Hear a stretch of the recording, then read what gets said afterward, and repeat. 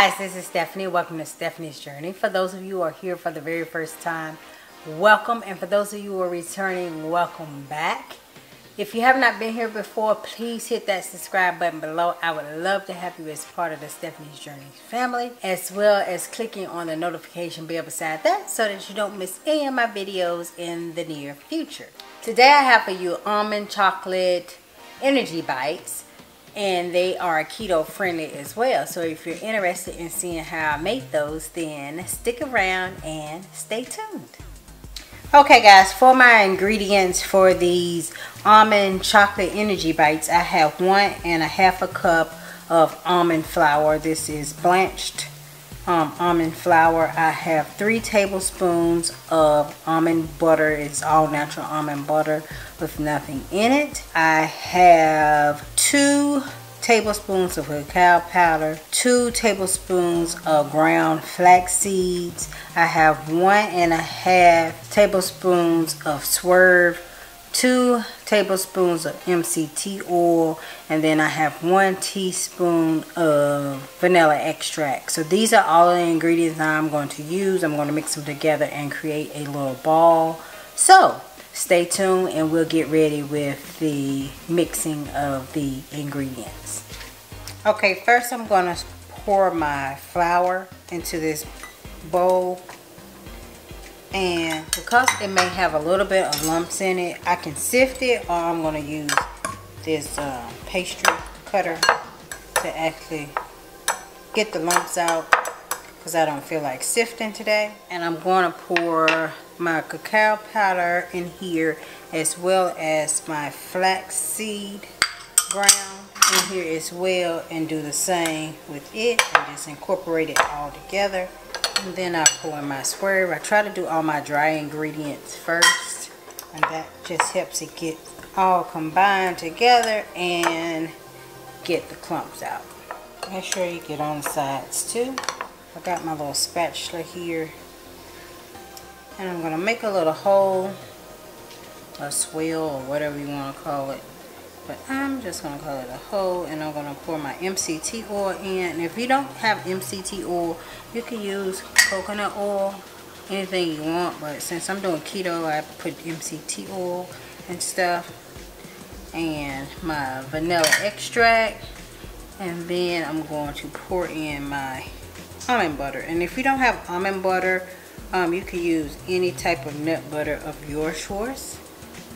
I just have almond butter and I like almond butter. I, well, I like all butters, but I'm to pour this in here and we're going to gradually combine this. And it may make a mess, so take your time with it because it's not to be a wet consistency. It's to be more of a sticky consistency. So take your time mixing it together so that you don't get it everywhere like I usually do. And these little things taste like brownie bites to me. So I freaking love them. And I'll list the nutrients for each one of these balls.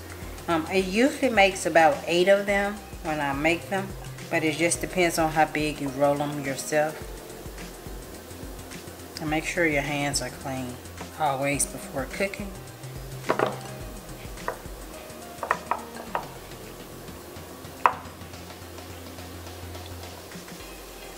And if you don't see that they're sticking together good, you can always add a little bit more oil or a little bit of water to the uh, mixture, but just gradually add that. Don't um, just pour a bunch in.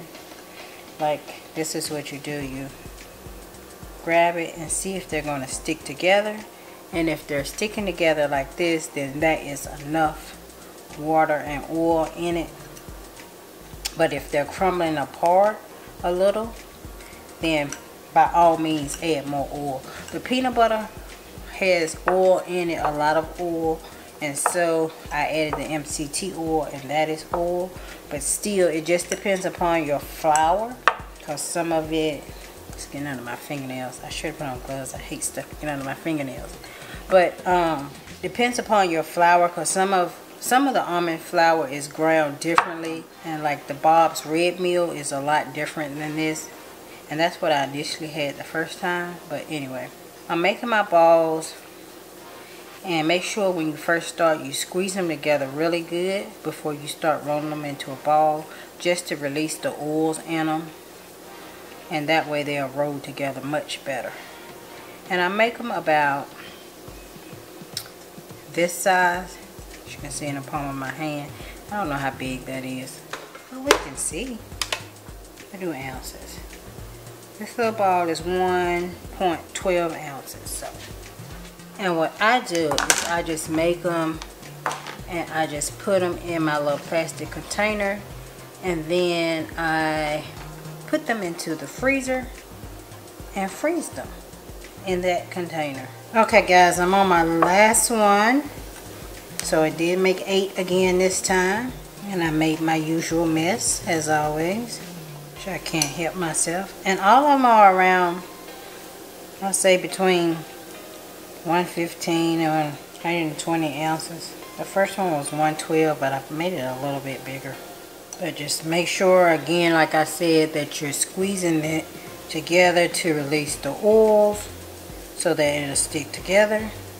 And this one, let's see my last one. It's about 122. I'm just going to take the complete measurements and put them in MyFitnessPal and divide all the measurements by 8 and get my serving size. So we have these 8 here and I'm going to put them, put a top on them and just put them in the freezer and let them freeze for at least about an hour and then we'll come back We'll do a taste test and let you see what they look like. So stay tuned for that. Okay guys, the chocolate almond bites have been in the freezer for about an hour. Generally I let them freeze longer than that, but just for the sake of this video, it's just going to be an hour. So they're going to be the consistency of a brownie. But if you would like them to be much harder, leave them in the freezer. If you want them to be soft at all times, you can once you freeze them the first initial time, then you can leave them in the refrigerator and they'll be much softer when you eat them. I like them a little harder, so I leave them in the refrigerator, in the freezer probably overnight. Then I take them out and put them in the refrigerator and leave them there because I like them at a little bit, uh, excuse me, a little bit of a harder consistency. So this is my first little ball.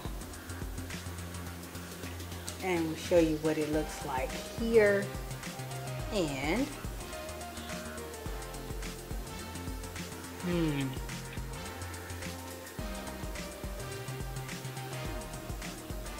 Let you guys see what they look like. They are so good. You taste them, the peanut butter in them as well as the chocolate. So it, it tastes more like a peanut butter brownie or really it kind of gives you the taste of a Reese's cup. And they're about 200 calories each. I'll leave that information up here so that you can see that from where I plugged it into MyFitnessPal. But yeah, that is it. Thank you guys. I hope that you liked the video. Please thumbs up the video if you like these recipe videos. I try to make them. I'm going to try to keep doing recipe videos every week and then as well as my keto or weight journey or other types of videos is well thrown in throughout the week. I can't say that I can make two videos a week, but I'm going to try. I'm at least make one video a week, but I'm about to start school next month. So I don't know if that'll be possible. So anyway, thank you guys for stopping by. I hope that you enjoyed the video. As always, thumbs up, like, comment, and share. And if you leave a comment below, make sure you check the description box first. I list all of the ingredients there as always. And yeah, thank you guys for stopping by. And I hope to see you in my very next video. Bye-bye.